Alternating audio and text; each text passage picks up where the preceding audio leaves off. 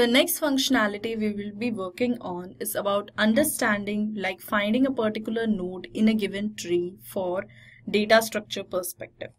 So for that, as we have done in our last chapters, we'll create an HTML file and that HTML file will be saved inside binary tree and I'll save this file as binary tree 1.html. Here I will create the doc type declaration. So we'll go step by step procedure as we have done with our HTML files previous HTML file. So here I'll create a HTML file HTML tag. Then comes my head tag. And after that comes the meta tag that is meta charset as utf8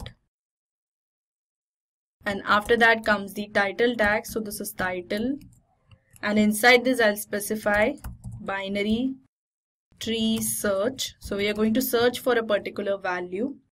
Now I'll create a body tag after the head tag. And the body tag will have the h2 tag.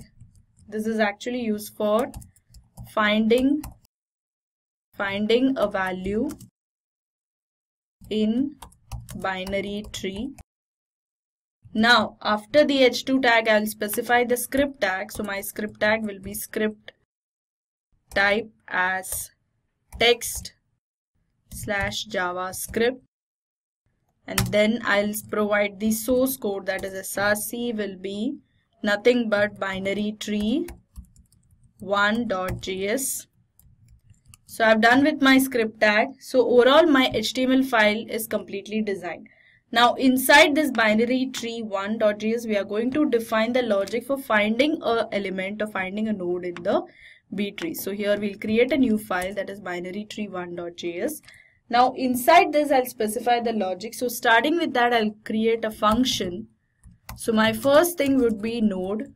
So I'll create a node with three parameters that is data, left and right.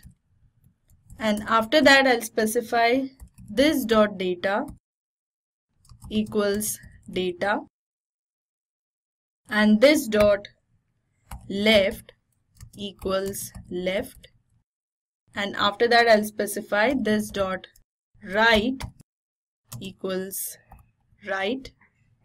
So this is the parameters that we will be working on. And after that I'll specify the show method. So it will be this dot show equals show. So I've created the node function and after that comes my show function. So that will be function show. And inside this I'll include the logic. I'll return the value. So that will be return this dot data. So this will return all the data values which are present in my given node. After this comes the function that is bst so I'll say function bst and inside this I'll specify this dot root equals null and after that this dot insert insert functionality will be used which equals insert and after that comes the in order functionality. So this dot in order equals in order.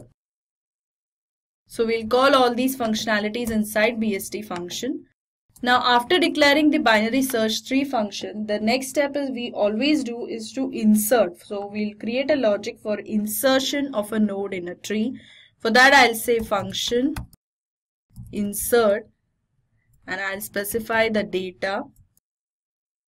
And after that I'll say var n equals new node new node and I'll take three parameters as data null null which means that I'm setting the left and right node for now as null. And after this I'll specify if if this dot root equals null then I'll give this dot root equal to n. And after that I'll give the else structure. So else I'll say var current equals this dot root. And afterwards I'll specify variable parent. And then I'll say while true.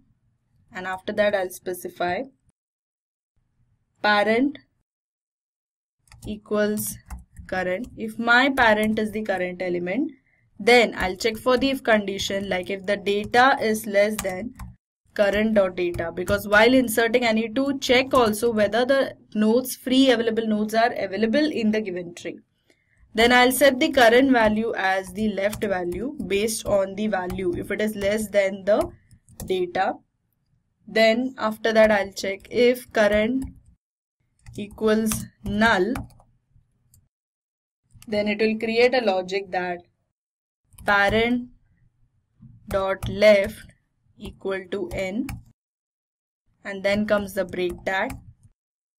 And after that I'll specify the else condition. So this is my if condition. Now if I get the data as not less than current dot data in that situation I will assign the node in the right value because that is the algorithm which we follow for binary search tree implementation. So I'll assign the value as current equals current dot right. Now if current equals null then I'll specify parent dot right equals n and then I'll include a break tag. So this is the complete logic of the functionality for inserting a particular node in the tree. After this comes the in order node. So I'll say function in order and there I'll specify node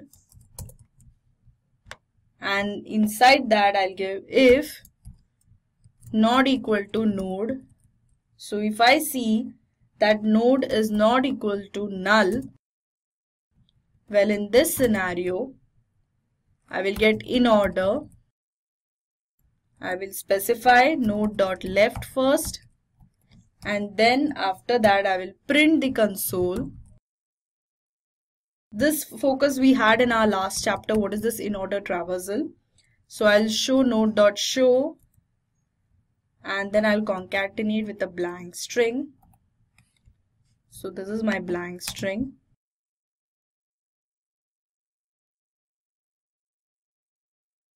And once we have done with the console I'll next show we'll move to node dot right so as specified for in order node now comes the main functionality. The functionality for storing a data or we can say storing and finding a data. We store a data with respect to insert function but for finding a data we do it with the help of this functionality that is to find a data so I'll create a function that is function find data. It will take a parameter as data.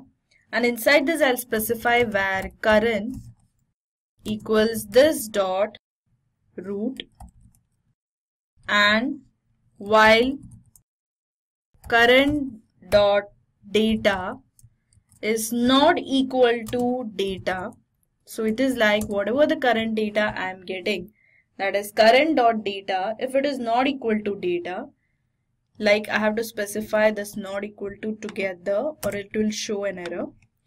In this scenario, I will print if condition if data less than current dot data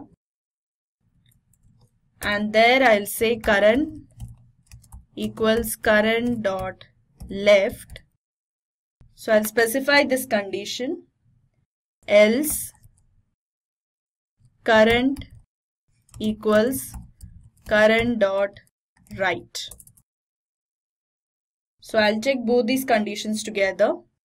After checking this condition, I will also say if current, if current, so after this two while loop, so I have the while loop over here. And if I get if I get the current value as null, so I'll say current equal equal to null, then in such a scenario, it should return null. Okay. So after this, after completion of this complete thing, I would send the parameter as return null. So this was my logic. So first I'll check in my left node and then right node and if there are no possibilities visible over there then I will create a node which is present like a null node so which will say the data is not there in my system and it is a null node. So let's create a binary tree. So we'll create a variable for that like variable var numbers equal new binary tree and after that I'll specify numbers dot insert 23 and then I'll insert 45 after that I'll insert numbers dot.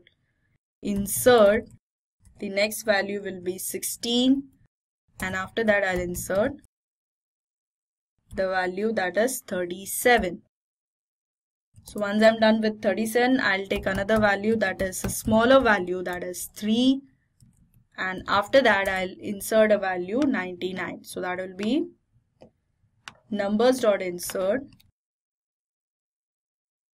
insert 99 and after this completion I'll take one more node that is numbers dot insert 22 so now I'll call for in order function and then I'll take nums dot root so I'll print whatever the root nodes are there as we have seen in our last chapter now I'll do one thing I'll take a prompt value so var value equals prompt the functionality will say to enter a value. So it will prompt a user to enter a value to search for. To search for. And after this, I'll say var found equals nums dot find I'll find for a particular value. And then if I say if found not equal to null then in such a scenario you should print console.log as found and the value will be embedded over here. So that will be value. And it will be printed inside bst that is in the bst and after this I'll say else. Console.log value. And it will say was not found in not found in the binary search tree that is BST. So I'm taking both the conditions over here together. So if I get a value, if I search for value, so 22, so it is already existing in BST. Uh, but on the other hand, if I check for the value, say 12, then it is not existing in the BST. So it will show for this console that is value is not found in the BST. So let's go to our browser and analyze what is the output we are achieving. So this is our code repository in our browser and if you want to check over here, if I prompt for the element. So here if you want to check the in order is already printing the values in the specific format but now it is prompting for 12 so if I click on 12 the 12 value is not existing in my BST so it is automatically showing that 12 was not found in BST on the other hand if I want to search for say prompt 23 so I'll just reload my page so reloading a page will call for the prompt that is 23 so here if I just put on 23 and say okay so it automatically says found 23 in the binary search tree that is BST. So this is was the complete implementation of storing a value in binary search tree and fetching a value or finding a value in the binary search tree. So moving on to our next chapter we'll be understanding about graphs which is also a new data structure and we will analyze what is graph all about and how it is different from a normal tree data structure. So let's move on with our next chapter.